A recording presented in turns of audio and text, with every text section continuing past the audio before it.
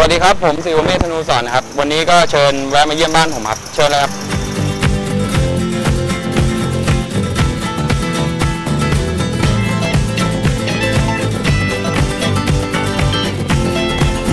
นี่ก็จะเป็นแม่ผมครับ คุณแม่สวัสดีครับคุณแม่สวัสดีครับ วันนี้นี่ถือว่าเป็นบ้านครอบครัวใหญ่ ครับครอบครัวใหญ่เลยสมควรนี่สิว่าแม่นี่เป็น คนที่นี่โดยกำเนิดเลยคนที่นี่โดยกำเนิดครับ อยู่ตั้งแต่เด็กก็อยู่มาตั้งแต่เด็กเลยเออนะครับอยู่บ้านหลังนี้ก็อยู่มาตั้งแต่เด็กเหมือนกันใช่ไหมครับ ครับก็เลย แต่ว่าตอนนี้ดูนี่ตอนนี้ของนี่ไม่ค่อยอยู่ที่นี่แล้ว ครับก็พอดีย้ายไปอยู่ที่กรุงเทพ ย้ายอยู่ที่กรุงเทพแล้วครับ เรียบร้อย แต่ก็ยังมีบางส่วนที่ยังเก็บไว้อยู่ก็มีบางส่วนครับ อันนี้ก็เป็นเหรียญไอ้ไทยลีกครับ ได้แชมป์กับธนาคารกรุงไทยที่ยืมตัวไปเล่นปีหนึงคือไป ถูกยุคพอดี ใช่ครับ ไปปีแรกก็เขาก็ได้แชมป์ก็ ดีใจครับปีนึครังบแต่ส่วนใหญ่ก็จะเป็นเหรียญที่อยู่ในยุคเยาวชนอยู่ ครับ ใช่คใช่รับ ไหม ส่วนมากก็เป็นเยาวชนนะครับ เยาวชนซะเยอะนี่ก็ได้ออสตาคือแปดโค้กจะโคกครับครับ ใช่ไหมนี่ครับ นี่ก็จะเป็นของเยาวชนกรีนครับครับ ตอนนั้นอยู่ที่อันนี้อยู่เล่นโอสดครับโอสดแล้ว เยาวชน แต่ว่าพวกของเรื่องฟุตบอลในบ้านหลังนี้ก็ยังยังยังพอมีอยู่ใช่ไหมแม่ก็มีอยู่บ้างครับ โดยเฉพาะเรื่องของเสื้อเสื้อผ้าอะไรอย่างนี้ก็มีปกติเป็นคนเก็บไหมเสื้อผ้า ก็เก็บครับ เก็บบ้าง เก็บตั้งแต่ยุคไหน เห็นบอกตั้งแต่เด็กเลยตั้งแต่ยุคบอลนักมีเรียนเลยช่วงบอลนักเรียนที่อยู่สวนกุหลาบครับ อืมแล้วก็มีของไทยลีกอืมของโอสดอะไรเงี้ยก็เก็บมีบ้างบ้างอยู่ข้างบนห้องใช่ไหมครับอ่าเดี๋ยวเราไปดูกันข้างบนห้องอะไปกัน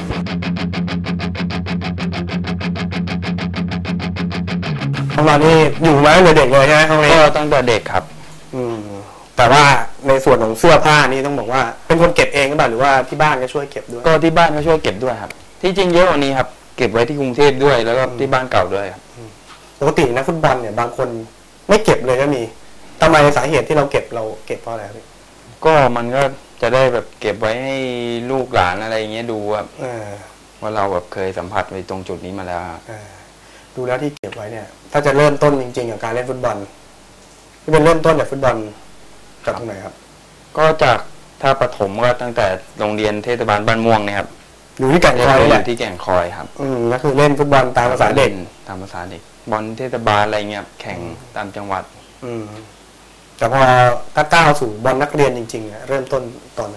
ที่แสนสุขครับชลบุรีชลบุรีทำไมถึงใช่ต้องไปถึงนู่นเลยชลบุรี ก็พอดีแม่เขาไปอ่านหนังสือพิมพ์เจอแล้วแบบเกาหลีอะไรเงี้ยอืมก็น่าจะช่วยให้เราแบบไปในทางที่ดีครับ คือไปคัดเลยใช่ไหมใช่ครับ แล้วก็ติดแล้วก็ติดที่นู่นเลยอยู่แสนสุขกี่ปีครับสองปีครับ สองปี ก็รุ่นยุคผมก็จะมีศักดาเจิมดีปฏิพลเพชรวิเศษอะไรเงี้ยอืม ที่เรียนเรียนด้วยกันอยู่ ที่เรียนด้วยกันอ่าเรียนรุ่นเดียวกันแต่พอจริง ๆ แล้วถ้าคนที่รู้จักสิวเม่จริงๆก็น่าจะเป็นสวนกุหลาบ ใช่ครับ ใช่ไหมที่อยู่สวนกุหลาบนี่ตั้งแต่มไหน ก็ขึ้นมมสามได้ก็ จนจบครับก็เพื่อสวนกุหลาบก็มีมาหลายตัวนี้ก็เป็นแค่บางส่วนนะครับตัวอันนี้ก็เป็นเริ่มจากมสามนะครับ ตัวนี้คือตัวแรกของสวนกุหลาบอ๋อนี่ตัวแรกเลย นี่คือตัวแรกของสวนกุหลาบครับ ตอนได้เข้าตอนแรกนี่รู้สึกยังไงสวนกุหลาบก็รู้สึกภูมิใจครับ เพราะว่าของผมก็ส่วนมากก็คนแก่งคอยก็จะเรียนที่สวนกุหลาบแต่เยอะ รวมถึงอาผมด้วยอืมคือพิตตี้อืมอาทิตย์ธนูสอนนะครับอืมมีรายการไหนที่จำได้มั้างไหมที่เล่นแล้วจำได้ก็มีนี่โค้กครับ ได้รองแชมป์แล้วก็จัตุรมิตรเอาตัวโคกคัพหน่อยครับพี่เอาตัวอ้าวอันนี้ของตัวโค้กครับครับ นี่คือตัวโคกคัพเลยครับ ตอนมไหนจำได้ไหมมห้าครับมห้ามห้าเป็นไงผลงาน ก็ได้รองแชมป์แล้วก็ได้กองหลังยอดเยี่ยมมีจตุรมิตรด้วย ส่วนครับพูดถึงสวนกุหลาบก็ต้องพูดถึงจตุรมิตรจตุรมิตรเป็นคือก่อนตัวตอนเราเป็นเด็กเนี่ย เรารู้จักจตุรมิตรมาก่อนใช่ไหมก่อนที่มาอยู่ก็สวนกุหลาบรู้จักครับ เพราะว่าก็อย่างที่เคยไปดูอ่าแล้วก็มีรุ่นพี่อะไรเงี้ยเคยมานั่งดูเกมไหมก่อน เคยครับ เป็นไงบรรยากาศในสนามสุขพัชราโหไสยมันขนลุกครับ เพราะว่าโหทั้งกองเชียร์ทั้งคนดูมันมันเยอะครับโหมันน่าจะเยอะกว่าบอลทีมชาติ บางรายการได้อีกครับอืมเราได้มีส่วนร่วมกี่ครั้งครับจตุรมิตรจตุรมิตรครั้งเดียวครับ ลงสนามไปรู้สึกยังไงโอ้โหก็ตื่นเต้นครับบางพอสมควรเออครับคือแฟนบอลตามมาให้กำลังใจใช่เยอะครับมาก ก็พวกเพื่อนนักเรียนด้วยกันอะไรเงี้ยแล้วอืม ทั้งสิทธิ์เก่าจากหลายๆ จังหวัดอะไรเงี้ยที่เข้ามาให้กำลังใจครับ ประทับใจมากขนาดไหนจตุรมิตรครั้งหนึ่งในชีวิตมีส่วนร่วมกับจตุรมิตรครับ โอ้โหครับมากนะครับมากที่สุดแล้วเพราะว่ามันคือความฝันของเราตั้งแต่เด็กเลยครับอืมได้มีโอกาสร่วมงาน อยู่สวนกุหลาบทั้งหมดสี่ปีสี่ประมาณปีครับสี่ปี ได้อะไรจากโรงเรียนนี้บ้างครับเนี่ย มันก็คือความเป็นรุ่นพี่รุ่นน้องอะไรเงี้ย เพราะทางไม่ว่าจะเป็นไอ้ครูบาอาจารย์อะไรเงี้ย แล้วก็รุ่นพี่สิทธิ์เก่า คือเขาจะสอนอยู่ตลอดครับ ก็คือไอ้ เราเป็นรุ่นน้องก็คือต้องเคารพรุ่นพี่ ส่วนเป็นรุ่นพี่ก็ต้องให้เกียรติรุ่นน้องอะไรเงี้ยครับอืมก็คือต่างคนต่างช่วยเหลือกันนะครับแล้วเรื่องของฟุตบอลล่ะ ก็ก็ ผมว่าถือว่าประสบความสำเร็จอย่างที่โรงเรียนเนี่ยครับก็ได้อาจารย์สุรินทร์เข็มเงินเนี่ยครับคอยแบบสอนคอยแนะนำอะไรตลอดครับอืมแต่พอว่าก็ถือว่าเป็นจุดเริ่มต้นกับการต่อยอด ใช่ครับ คือจุดเริ่มต้นจุดใหญ่เลยครับอืม ที่แบบ ช่วยให้ต่อยอดมาจนถึงทุกวันนี้ครับเพราะจากสวนกุหลาบแน่นอนว่าสโมสรที่เรารู้จักสิงห์เมธก็จริงๆก็คือ โอโสถภาเนี่ยครับ โอสถสภาก็ตั้งแต่เริ่มเรียนอยู่นะครับ ก็ประมาณม .6 ก็เข้าที่โอโสถภาแล้วเป็นเยาวชนครับใช่ไหมอ่ามีเสื้อบอกว่ามีเสื้อตัวแรก ก็กับโอสถด้วย ตัวแรกก็จะเป็นตัวนี้ครับอืมตอนนี้อยู่มประมาณมไหน ตอนนี้ขึ้นอันนี้จบมาแล้วใช่ไหมจบมาพอดี จบมาปีหนึ่งก็ อืมได้ตัวนี้ อืมได้เป็นรองแชมป์ที่เล่นครั้งแรกของไทยที่ผมได้เล่นไทยลีกครั้งแรกอายุเท่าไหร่ตอนตอนก็นี้ได้รองแชมป์ก็สิบเก้าครับ สิบเก้าปี เข้าสิบเก้าปีสิบแปดเข้าสิบคือเก้าปี คือง่ายๆคือจบจากบอลนักเรียนเนี่ย ครับ ก็มีโอกาสเล่นลีกก็สูงสุดเลมียโอกาสเล่นเลย ตอนนั้นรู้สึกยังไงบ้างโอ้โหจบก็ลงไปสนามใหม่ๆก็ตื่นเต้นครับอืมเพราะว่า ส่วนใหญ่ก็เจอแต่รุ่นพี่ที่ติดทีมชาติชุดใหญ่อะไรอย่างนี้บ้าง อืมแต่ว่ารุ่นนั้นก็มีก็ใช้ดาวรุ่งค่อนข้างเยอะพอสมควร ตอนนั้นขึ้นขึ้นมาพร้อมกันมีใครบ้างครับ ก็มีอย่างศักดาเจิมดี วรวุฒิวังสวัสดิ์ไปทูลเทียบมาจากกิจบุญคำครับฤดูกาลต่อมาครับก็จะเป็นตัวนี้อืมตัวนี้ครับ ผลงานตัวเองเป็นไงบ้างช่วงนั้นแรก ๆ ขึ้นมา แรกๆขึ้นมาก็ถือว่า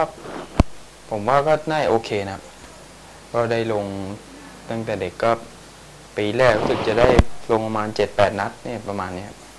คือตอนแรกเนี่ยก็คือใส่เบอร์สิบเจ็ดครับ สิบเจ็ดมาได้ยังไง มีมีความหมายไหมหรือว่าเบอร์ว่างพอดี มันไม่น่าจะมีความหมายแล้ว เพราะว่ามันเป็นเยาวชนขึ้นมาครับอ่า ก็คือไม่ได้เรียกอะไรก็เท่าไหร่ครับคือ แล้วพอหลังงานก็เปลี่ยนมาเป็นเบอร์ห้า อ่ามียุคเบอร์ห้าด้วยใช่ไหมเบอร์ห้าเดี๋ยวนะเบอร์ห้านี่เป็นตัวนี้ ที่ไปเล่น FC ครับ FC ได้หลังจากได้รองแชมป์ หลังจากได้รองแชมป์ชอบเบอร์ห้าอยู่แล้วหรือเปล่า คือเขาบอกว่าเขาอยากจะให้ผมใส่เบอร์ห้ามากกว่าสโมสรหรือครับใครใครบอก พี่เบครับ พี่เบย์ก็ไพโรดคือเขาอยากให้เราใส่เบอร์ห้าด้วยด้วยด้วยตำแหน่งด้วยโดยตำแหน่งแล้วก็ ด้วยเด็บที่แบบของโอโซดครับเขาจะค่อนข้างถืออะไรอย่างงี้มั้งล่ะ เขาเคยพูดถือถือยังไง เช่น เช่นตัวอแบย่างบเหมันเขาแบบให้แบบ แต่พอปีที่ขึ้นมานี่ก็คือจะเป็นตัวหลักแล้วอะไรเงี้ย อืมก็คือเขาอยากให้ใส่เป็นเบอร์ห้าเพราะว่าดวงมันมันน่าจะดีขึ้นอะไรเงี้ยกี่ปีกับโอสถสภาโอโซตภาก็สิบปีครับสิบปีเต็ม สิบปีเต็ม คือใช่ครับ ผ่านทุกผ่านทุกอย่างกับที่นี่มาหมดผ่านทุกอย่าง ก็ถือว่าอยู่ในยุคที่ประสบความสำเร็จกับโอสถด้วย ก็ประสบความสำเร็จพอสมควรแล้ว ตอนนั้นได้แชมป์อะไรบ้างครับ ก็ได้แชมป์ควีนคัพสามสมัยครับ แล้วก็ได้รองแชมป์อีกสองสมัยรองแชมป์ลีกหรือรองแชมป์คืนรองครับแชมป์ลีกรองแชมป์ลีกสองสมัยแล้วก็ที่สามอืมอีกหนึ่งสมัยแล้วก็ได้เล่นบอลทั่วเอเชียด้วย ครับ อยู่กับโอสถได้อะไรบ้างเนี่ย สิบปีโอ้โหก็ก็หลักๆก็คงเป็น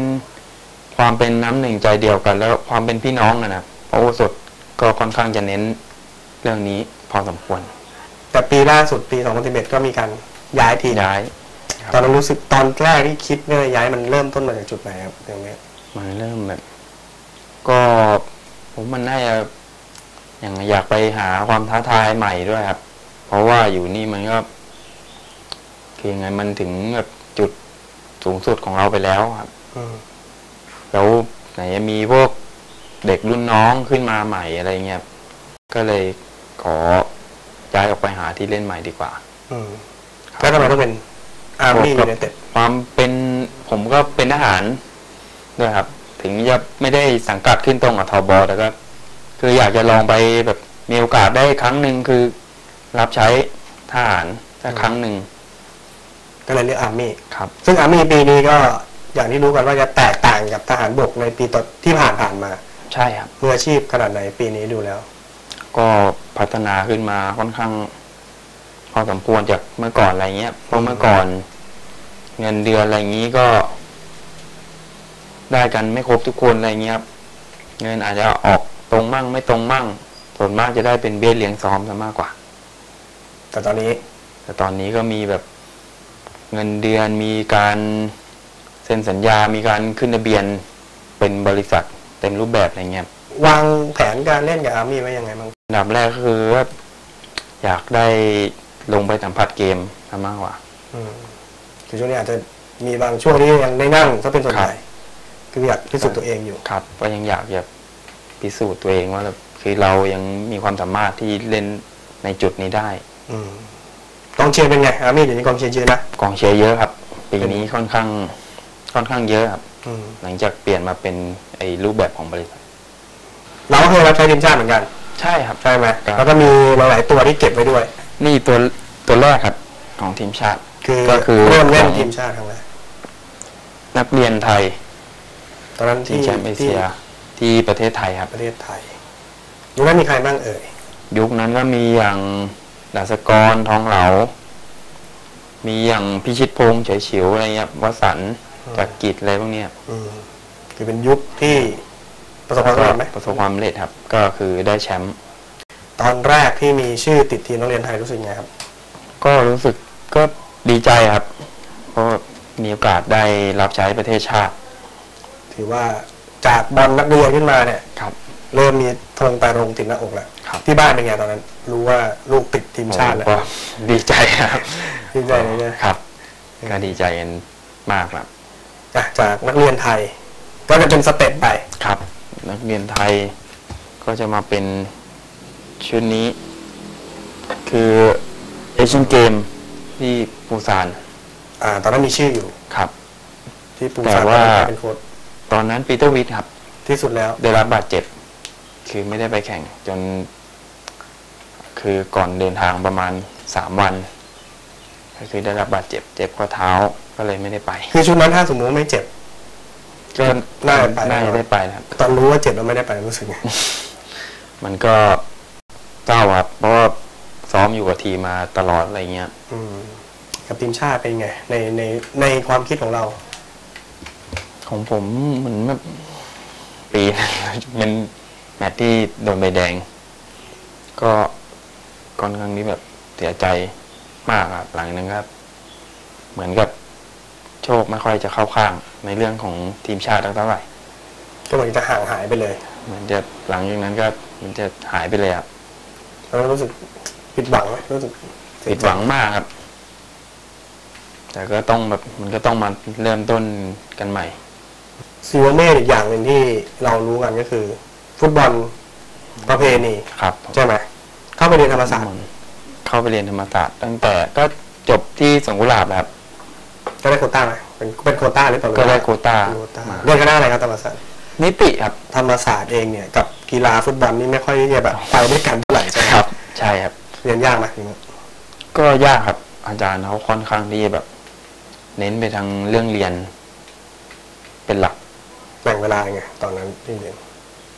ก็ส่วนมากก็จะเลือก โรงเรียนเฉพาะวิชาที่แบบ จะไม่เน้นช่วงที่แบบชนกับการซ้อมครับจะเน้นเป็นเรียนช่วงเช้า